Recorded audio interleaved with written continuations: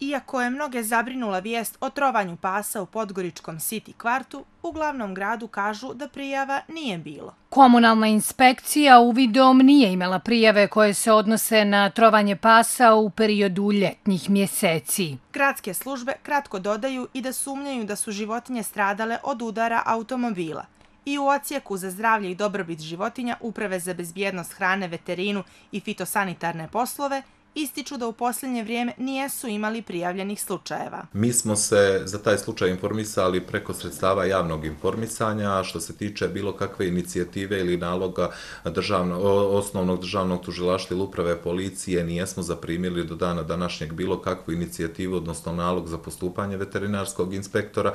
Ipak ističu da je problem trovanja životinja izražen, te ukazuju na lošu reakciju nadležnih službi. Pored same činjenice da je otrov često prisutan na javnim površinama, e, kako u glavnom gradu, tako i u drugim e, opštinama, to je da nadležne službe često e, ne reaguju adekvatno.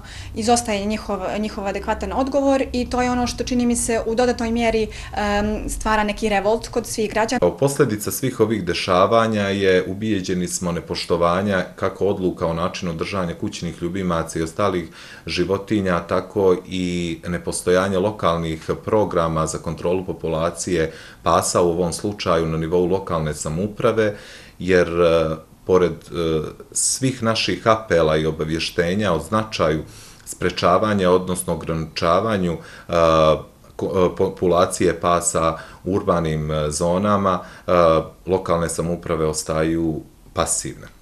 Zato građani pozivaju nadležne na reakciju. Žao mi je zbog toga. Mislim da bi treba da se možda napravi neki azil e, ili više azila, ne znam, da se psi zbrinu sa ulice, jer ovako je više povrijeđenih. Trebalo bi naći neko rješenje, ne znam, za zbrinutost pasa ili tako nešto. Zbrinutih negdje, a ne nikako uništavati, mislim, trovati to, jer je to strašno.